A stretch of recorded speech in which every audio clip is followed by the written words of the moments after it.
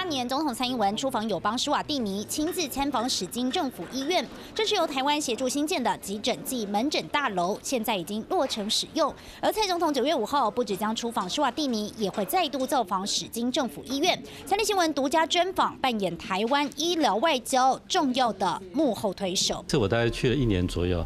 那二零一二年、一三年左右开始，有培养他们的一群的这个史国的学学生，然后到我们的台湾来，呃，接受医学的医学系的教育。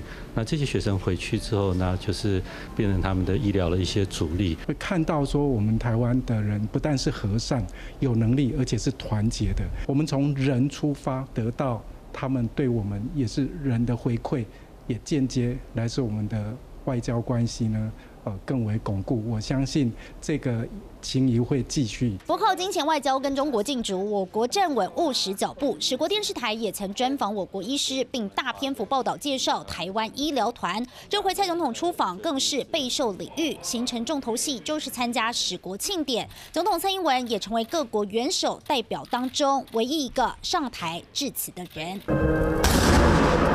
施瓦蒂尼国王在去年十月底曾经访问台湾，时隔将近一年，是否两国建交五十五周年？蔡总统出访前夕，包含南非等非洲十一个国家多位政要也透过联合声明及致函的方式表达欢迎。尽管中国无所不用其极打压台湾国际空间，但我国也借由医疗人道，这一次跟事件证明台湾 can help。三选尤仁博、黄世模、朱树军台北报道。